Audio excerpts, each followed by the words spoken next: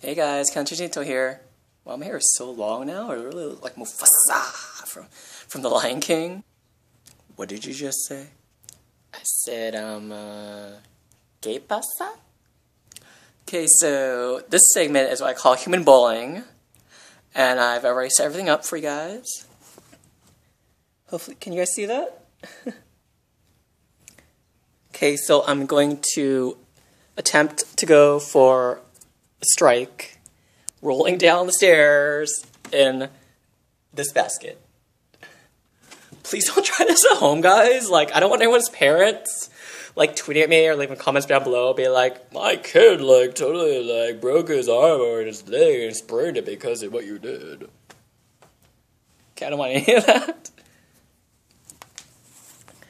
Okay, so first things first, I believe in safety, so I'm gonna put a helmet on in case anything like goes terribly bad. At least I have my, head intact.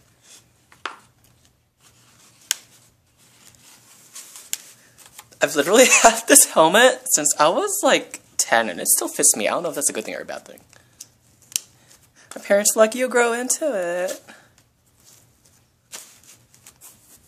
Okay, this is either like the best idea I've ever had or it's to be this one, but oh well. My parents want to become a doctor, but instead, I do stupid things on YouTube. Yeah! American dream. Psh, nailed it. okay, here we go. Wish me luck. Pray for me. Oh my god, this is like. Apparently, uh, maybe I should have found a bigger basket. Hopefully, I don't drop this tablet as I go down. Uh, uh, uh. Woo, Team Internet! Hey guys, um, so sorry the camera cut out as I was just about to slide down the stairs, but, uh, uh, so yeah, long story short, I did not get a strike because uh, halfway down, as I was sliding down the stairs, the basket decided um, it wanted to um, flip forward.